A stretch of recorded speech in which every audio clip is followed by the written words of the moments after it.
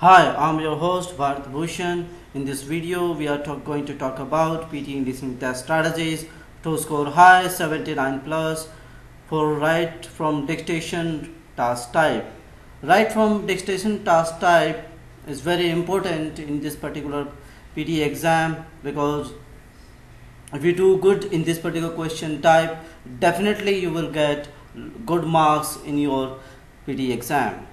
So be careful and be ready for all the strategies we are go- going to discuss in this video. Be with me till this uh, till the end of this video to know about each and every strategies tips and tricks for this question type write from dictation. Please like and subscribe my channel bharat bhushan. For more PTE videos click on bell icon for more updates. Right guys? So i have created all the videos for all question types for, PTE exam. There are 20 question types in PTE exam. I created uh, videos for 20 question types for PTE exam for all the strategies. So please go to this channel and get access to all the videos for the PTE exam to score really high what is write from dictation question type? So write from dictation task type test listening and writing skills. Right guys? So you will get marks for two things listening and writing by doing good in this particular question type. So you can be scoring in two sides of your PTE exam. One is listening another one is your writing. You'll have to write a sentence that you will hear once only in recording that last 3 to 5 seconds. So there is a recording of 3 to 5 second about 5 to 10 words sentence that you need to repeat by writing in your text box. You will get 3 to 4 question type write from dictation in your exam and it depends in some particular exam get 3 and another maybe 4 so write from dictation question type you should aware about this about the format of this question type in your real exam. On the top of the computer screen you will have the instruction for this particular question type which you need to be which you need, uh, which you need to read carefully of all those instructions then there will be an audio status box and volume controller so that you can increase and decrease your volume as per your convenience. You will have the text box to write your answer on your screen. You have to write from uh, what you hear in the audio in that particular text box. Finally you will have the cut copy paste buttons for your convenience in this question type this is the screen you will get in your real exam. First, as I told you, instructions, audio status box and volume control. Type your answer here in this text box. Then you have tool, cut, copy, paste. Now, what is the first strategy to write from dictation question type? So, first strategy is your be focused while you hear. You have to give a lot of stress on, on your hearing the audio status box will start from seven seconds. So in that meanwhile you just prepare yourself. Pay attention so that you do not miss any word of that particular hearing of recording. Because if you miss any word you will lose your mark. You can use your keyboard to write in the text box while you hear. If you are good in typing with the hearing so you can use do that otherwise you can just make notes. Later you can correct it after audio will stop or you can write on erasable board if you are not comfortable with keyboard. So it's up to you and that way you have to choose before taking the exam and you have to practice at your home. Now next strategy is try to understand the dictation. Try to understand it that what about is what is the topic and what it does it relate. Once the audio begins, focus on the meaning of the sentence. This will help you to remember it and try to visualize it. Write or type the content words, noun, verbs, adjective and word verbs Leave the minor words, preposition, articles for now while you're hearing.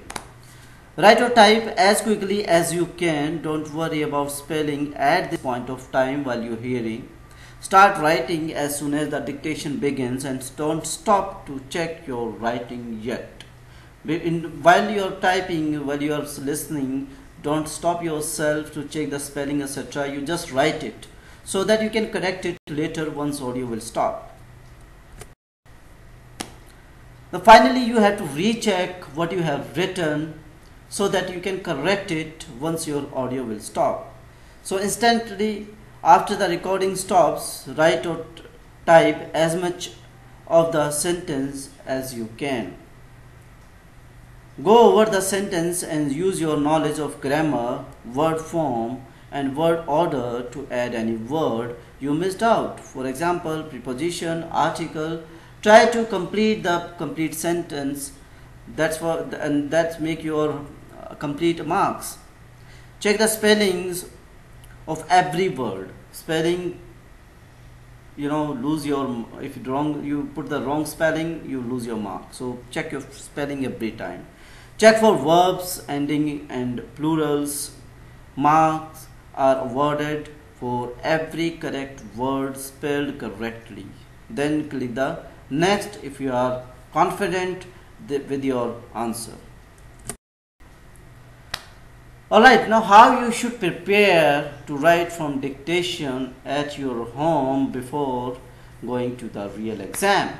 So you know, should the, you should know the each and every technique you should apply in that exam and you have to practice a lot that that particular technique at your home.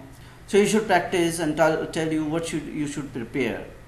So decide in advance whether you are going to write the sentence by hand or write directly on the screen. So you have to decide this in advance before taking the real exam.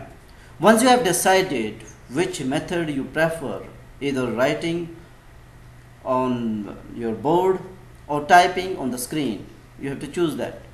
Exercise dictation using it and don't change your mind on the test day. Whatever you practice at your home, you have to same apply in the exam. Don't change in the exam about your practice about your preference. Exercise guessing how to spell words. You don't know write down words you hear in the media in advertisement the news interviews etc try to confirm the spelling of the word you heard using a dictionary. So you have to be very good in spellings. Practice for write, writing correct spelling of difficult words you experienced. What you experience in, in, in writing difficulties in a particular word you have to remember that word with right spelling. Make a list of words with similar pronunciations but different spelling. For example, now, no, no, like this. And different meaning and check the meaning of each one. For example, no means nahi, new means new, you know that, right? Likewise. Create a word bank for new words with as many as forms of the word listed as you can find. Try to find as many as words such as the noun, verb, adjective and adverb form of the words. In the test, you may miss part of a word, so you may have to work out which form is needed and spell it correctly. Exercise writing sentences with correct words endings such as ed endings on past tenses and s endings on plurals and present tenses Listen to podcasts by speakers with different English accents to become familiar with them because in your exam, real exam, in real, real exam, you will hear different audios with different accents. Remember that this is the final task type in the test. Be aware of the time remaining in part 3 so that you have enough time to attempt every question. It is better to try every task than to spend too much time on a task you have finished. So you have to be very careful about your timings. Try to devote good time for each and every task in your listening section. Do not spend lot of time on a particular question type.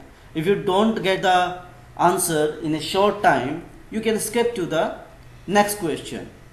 Okay, so that way that's that, that way you can attempt each and every question. Do not spend lot of time on particular question or option. Final tips and tricks to write from dictation which you need to practice at your home before going to real exam. When you listen, write all the words that you hear from your on your erasable noteboard booklet. After the recording, write the sentence in the response box. While writing the words you hear and do not paraphrase, you will gain marks for each correct word spelled correctly. Right, right, right guys, do not paraphrase or do not use synonyms. What you hear, you have to just write exactly. Try to spell word correctly and check the grammar before you click on next. Don't miss endings such as ed on past verbs, forms, ly on adverbs, or as on plurals. That is very important because if you miss that, you will again lose your marks. So be very careful with all these things which I'm telling here and you have to practice this at your home before going to the real exam. You should practice this at least 20 30 times or as many as possible before taking the real exam. Alright guys, so that's all in this video write from dictation. I told you, explain you each and every strategies to get really high marks in this your PTE exam. So you need to practice a lot of all these strategies, tips and tricks at your home before taking the real exam. Please share your feedback in comment box. Please like, dislike. If you uh, have any issue with this particular audio, please give the suggestions in your comment box. Please subscribe my channel, share this video with your friends and that and uh, populate this uh, video if you like it because that make me motivated to create a lot of videos for PTE exam for your help. Thank you